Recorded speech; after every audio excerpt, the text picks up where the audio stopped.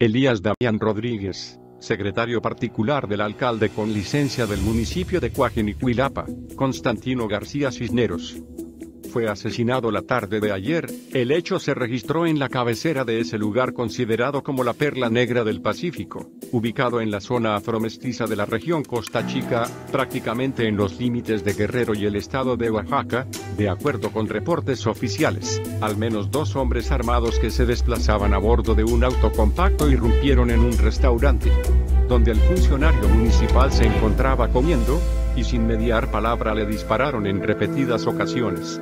La víctima recibió 12 impactos en distintas partes del cuerpo. En la escena del crimen, autoridades ministeriales embalaron más de 10 casquillos de bala calibre 9 milímetros y 380. Familiares de la víctima lo trasladaron a su casa y no permitieron que se realizaran las diligencias correspondientes. Más información en el blog del narco.com.